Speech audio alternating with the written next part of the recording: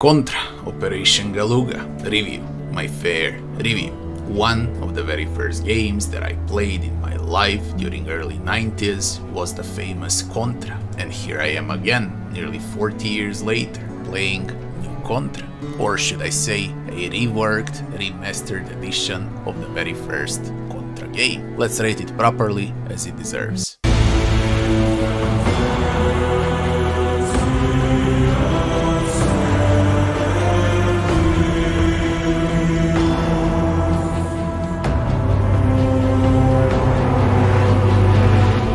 First section is the story. Simple story, elite squad of Contra is on a mission. Mission, save the planet from aliens. Silly writing, a bit of comedy in some lines, but overall the game follows retro style storyline and it's actually refreshing to see a simple and straightforward story in a game for once. 6 out of 10 for the story. Next section would be game bugs and optimization. Played on PlayStation 5 and I also tested new Contra on PC for a few minutes. This is a bug-free, perfect game that will work on a toaster too. Controls are smooth, responsive, and overall the game is optimized and balanced to perfection. 10 out of 10 for game bugs and optimization. Next section is game time. It took me 3 hours to finish the game on the hardest difficulty available. It will take around 2 hours for other difficulties if not even an hour to finish the main story especially on easy difficulty. That's not it of course, the game offers plenty of other mods to play on,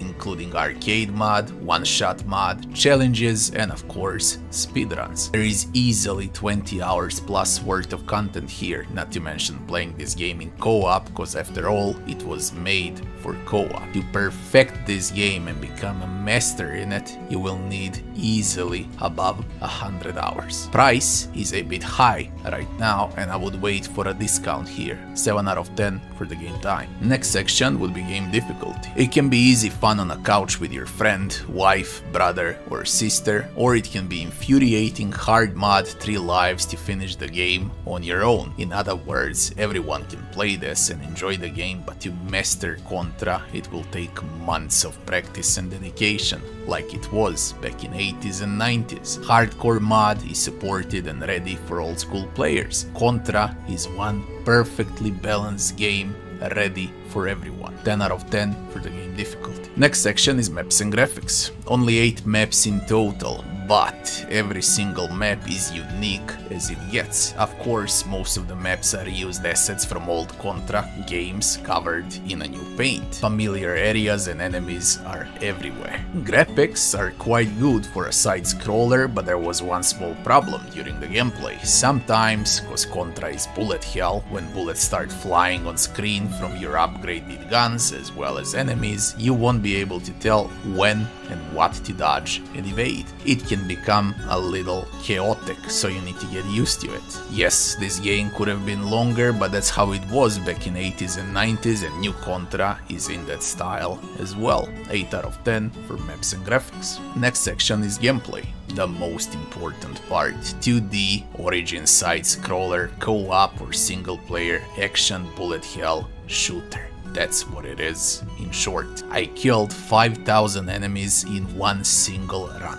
5 freaking thousand in 3 hours and I died 147 times. It was fun, rage-inducing, immersive, funny and challenging all at once, not to mention nostalgia on top of it all. Gameplay offers some new movesets as well now, including dash option to our Contra squad as well as double jump and wall hanging. Speaking about some of those new moves, there was that map 6, 6 map in a row that was absolutely infuriating and full to the brim with traps and platforming parts. That map feels like it doesn't belong to Contra at all, but hey, the rest of the maps are absolutely brilliant. Over 50 achievements and trophies are there to conquer, and plenty of mods to play on. This is the game about gameplay and it succeeds in a best possible way. 9 out of 10 for the gameplay. Next section is leveling and itemization. This is a new segment for Contra games cause now on top of all flying weapon upgrades during gameplay now you can also unlock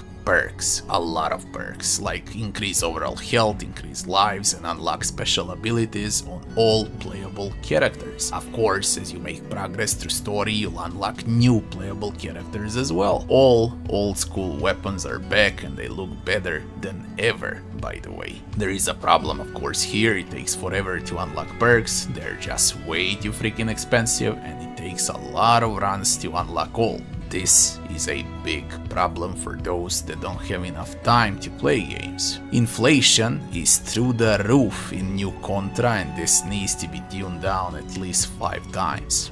6 out of 10 for leveling and itemization. Next section would be NPCs and enemies. What can I say? Every map has a mini boss and a main boss. That would be around 16 to 18 bosses in total. Some of them are new and some are reworked versions from the 90s. Plenty of NPCs in this game for the story purpose as well as humongous main bosses with great design and unique mechanics with multiple phases. Enemy variety is huge for such a short game. AI is very good and extremely aggressive. Of course, game ends on a cliffhanger for the next game. 8 out of 10 for NPCs and enemies. Last section would be music and sound. Great music, amazing sound effects and very solid voice acting. PS, the entire game is fully voice acted as well. 8 out of 10 for music and sound. Final verdict. We got 9 sections with 72 points and that would be exactly 8 out of 10 for Contra Operation Galuga in 2024.